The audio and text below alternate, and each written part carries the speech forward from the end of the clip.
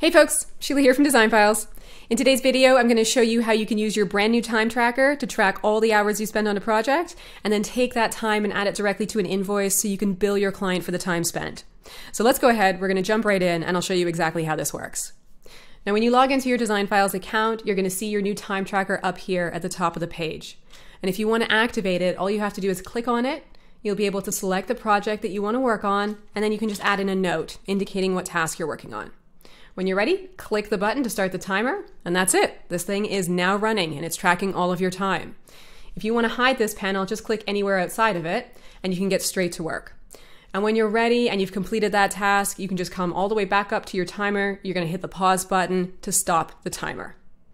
Now, if you're wondering why this isn't counting up the seconds, don't worry about it. It doesn't count up in seconds. Your time is going to show as a decimal amount, and I'll touch more on that in just a second. Now, if you want to be able to see how much time you're spending on a project as a whole, you can go into the More option right here, go down to the Time Tracker, and that's going to take you to your Time Tracker overview page. And here you're going to see all the individual entries and how much time you've been spending on each and every one of those tasks. Now here you can see the time broken down as a decimal number. So if you see 2.75, that means you spent 2 hours and 45 minutes on this particular task. Now, a couple things to just discuss here. Let's say that you were sourcing products uh, on a particular day for this project. You spent four hours sourcing the products, you broke for lunch, and you came back and you ended up putting in an extra hour of sourcing products for this project, but you forgot to turn on your timer. If that ever happens to you, don't worry about it because you can edit all of these entries. All you have to do is click on this icon right here. You can update the time to include the extra time that you spent, and then you can update the entry. You also have the ability to just remove any of these entries if you want to by clicking on the trash can icon.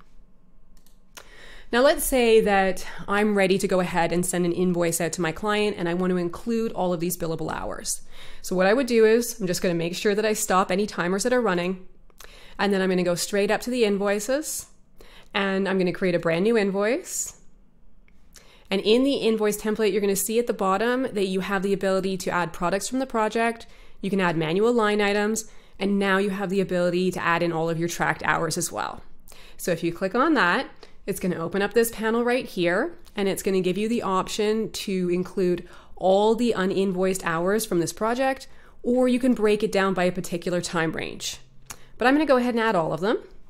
And then I'll just put in my hourly rate, add them to the invoice, and everything immediately gets added in and calculated up for you.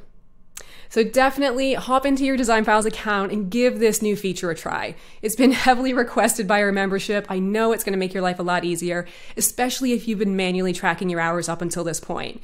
This is going to get you this is going to provide you with a much more streamlined uh, process and make it so much easier for you for all of your projects. So hop in, give it a try. As always, let us know what you think, and thanks so much for watching.